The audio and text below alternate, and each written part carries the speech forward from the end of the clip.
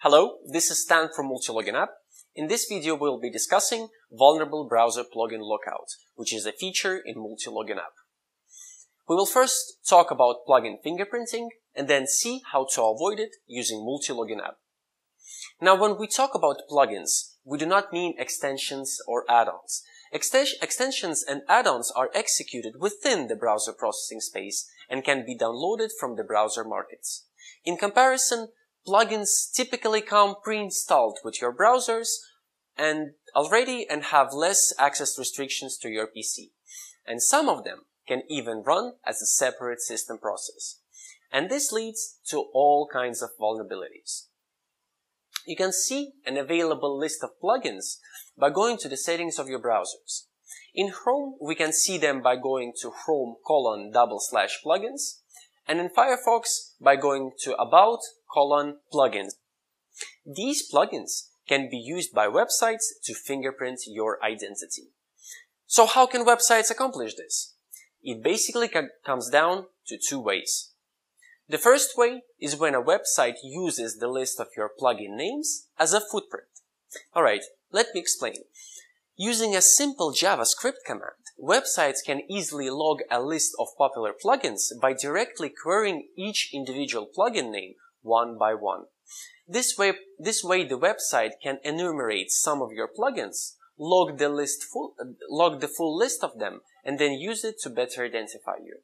By going to Multilogin app and turning on vulnerable browser plugin lockout feature, all plugins will be automatically disabled when you launch a browser profile. This completely eliminates any fingerprinting done by plugins. The second way how plugin fingerprinting works is by exploiting plugins to retrieve information about your system. The most vulnerable ones are Adobe Flash and WebRTC. Websites can utilize Flash plugin to detect a lot of information about your PC from file tree structure, operating system, to real IP address. This is why it's always good to have disabled Flash in all of your browser profiles. However, if you're accessing a website that requires Flash to display some website content, you have the option to turn Disable Flash off. Another elusive plugin is WebRTC. Basically, WebRTC is a collection of communication protocols that allows getting real-time information from your browser. If websites are sneaky enough, they can exploit the plugin to retrieve the local IP address and other information. For example, if you're using a proxy and have, have WebRTC enabled, in this case, the website may find, find that the IP address does not match the one that it retrieved from the WebRTC plugin. This inconsistency can cause the website to suspect you of unusual activity and throw a red flag.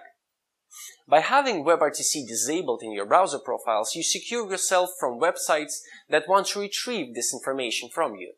The feature also feeds the private IP address into the WebRTC plugin where it's possible. And this way it doesn't look like WebRTC is disabled completely.